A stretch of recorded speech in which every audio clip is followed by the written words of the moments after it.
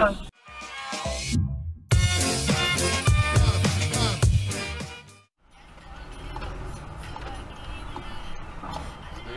ty vole, dědo. Ho mal najel, ty vole, kdybych nezastavil, tak máme nový předek. Co to je, ty vole, tohle to? To ten sundává, co to je? Ty vole. To tady zaparkovat?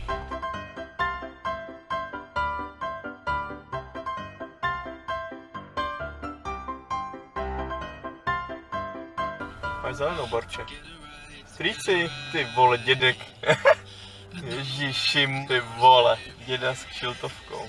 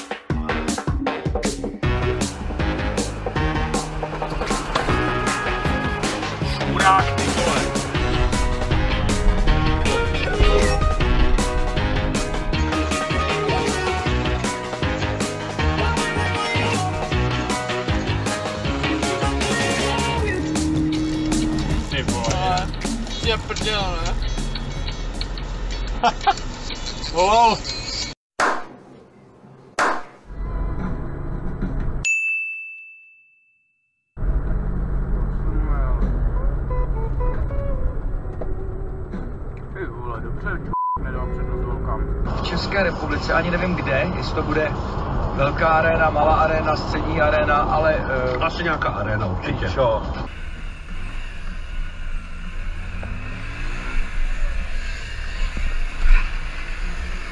Jo, se mám posral, Viktoru.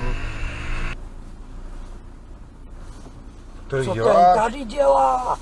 Co to je za dementa? Ty vole, už to mohlo být. No ale to by nebyla naše vina.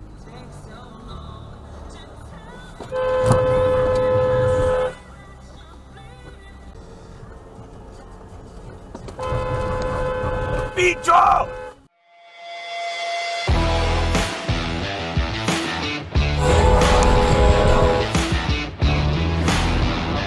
Ty bude,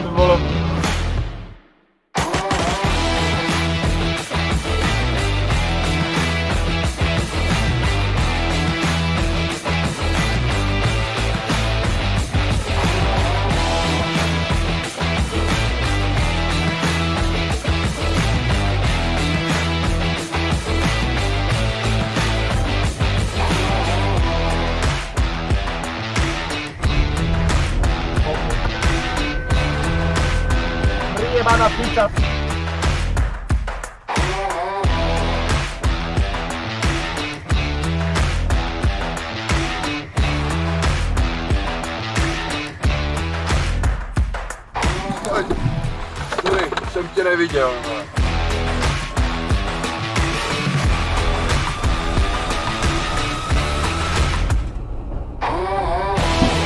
vole. To je ne. Už mohl být pocatej, ty vole. No,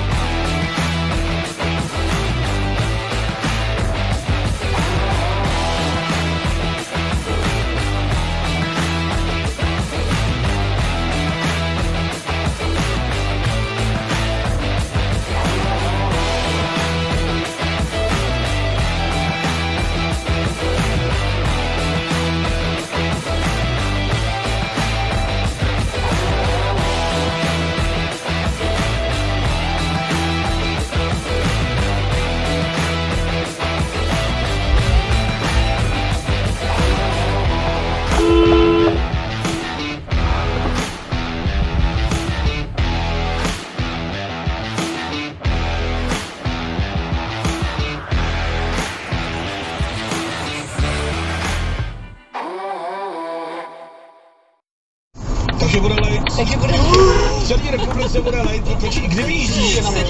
Zdeně, sorry. Pičo, ani se nepodívá, vole. Je to idiot tohle, by the way.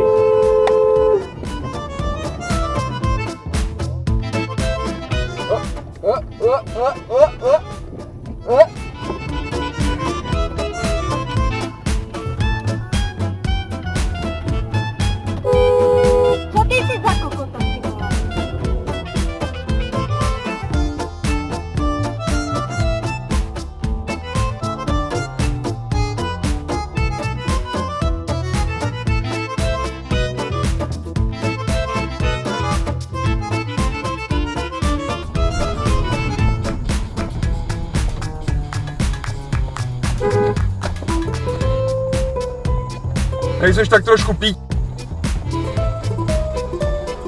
Neskutečný tohle, ty vole.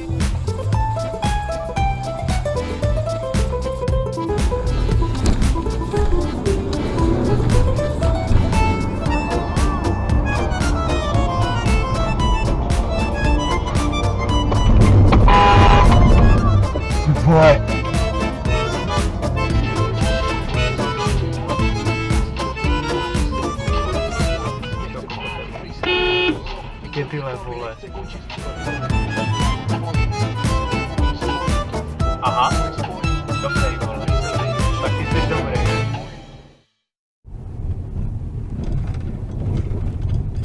It was at this moment that he knew. He fucked up. Start recording emergency video. Ty vole, co tam bylo do prdele?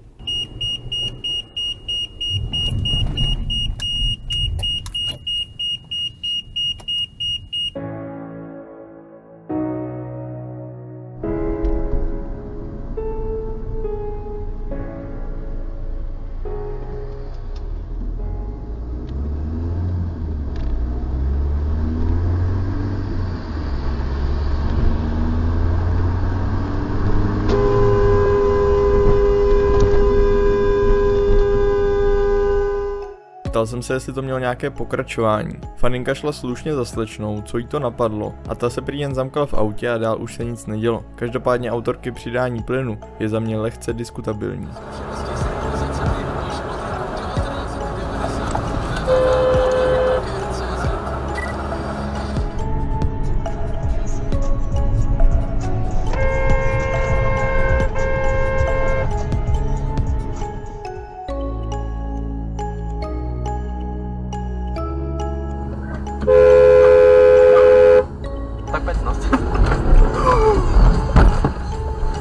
V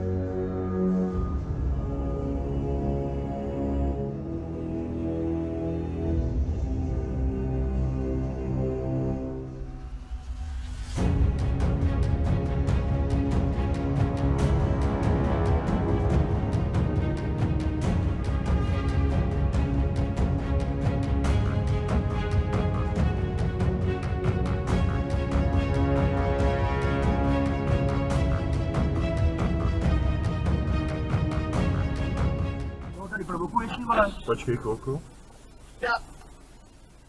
Šmejdy za s***ej ty vole, s***ej ty vole. Máš tam zip? Ne, Jak to že ne ty vole? nemám tam zip, je tam... Je tam zúžení jenom.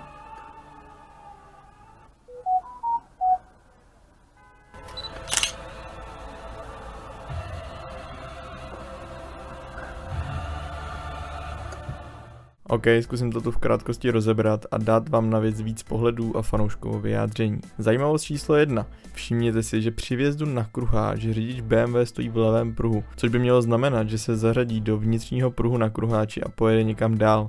Nicméně on přitom hned sjel prvním výjezdem. Zajímavost číslo 2. Přiřídí se tam jak utržený vagón a hrozně se obhajuje pravidlem ZIP, který jednak neplatí, protože pochybuju, že v tu dobu za ním byl souvislý proud vozidel, ale budíš. Nicméně ani tak nesmí omezit ani ohrozit fanouška při změně pruhu. No, jestli mu fanoušek trošku nepřidal, nechám na vás, ale nevidím to jako podstatný. Pak se teda týpek rozhodne přijet přes pruhy, retardéry, přechod, cyklopruh, prostě všechno, co mu přijde do cesty. Tady si fanoušek myslí, že udělal chybu a neměl se na kruháč už tlačit. Osobně si myslím, že v tenhle moment už je to celkem jedno. No a zbytek jste viděli sami. Vybrždění a argumenty typu zip, zip, vole, všude zip.